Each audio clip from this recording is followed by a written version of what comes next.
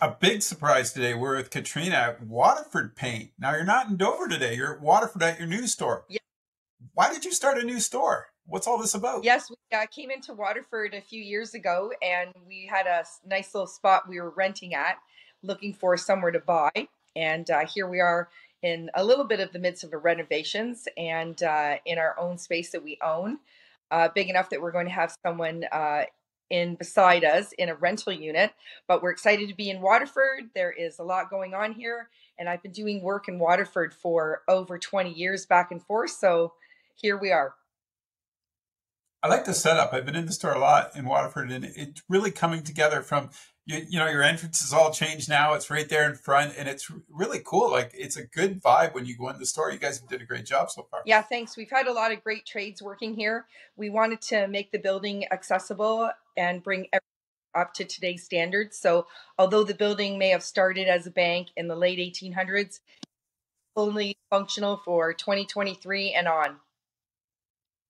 And Dulux obviously is a big part of your your paint um, portfolio. So talk a little bit about that because I know these guys they're always behind. They always have your back when you're starting new adventures, don't they? Yeah, for sure. We partner up with uh, Dulux, which is uh, a great brand. They have uh, multiple products for every kind of homeowners projects. We work with a lot of contractors as well.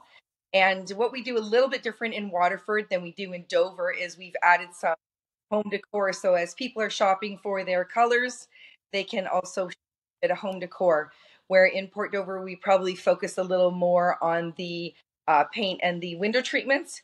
Here uh, we've got some window treatment displays, but we have a little more uh, shopping for people while they're out and about in on Alice Street in Waterford. Yeah, you guys are on 13 Alice Street in Waterford. Great new location, looks wonderful. And I liked what you were saying. So that added incentive in Waterford when they're looking at the home decor. Is that something you want to add in Dover as well? Eventually? Well, we've thought about it on and off, and running out. So expand on that building, it might happen. Uh, Dover's pretty busy with what's going on so far, but uh, I would never say no to anything. How are you finding it in Waterford? Is it a slow growth, a steady growth? A lot more people are getting to know where you are downtown now. Is that the big yeah? Change? Of course, we've had a little transition with people trying to find us, and uh, you know we're yet to have a, an open house coming up because we're waiting for our front facade to be finished everything is taking a little longer than we anticipated. But uh, yeah, Waterford growth is amazing. The uh, people here are so supportive and they've had so many positive feedback. So we're excited to be here. Is there anything else you can tell me? Do you got any events? Like you said, you're planning an open house down the road.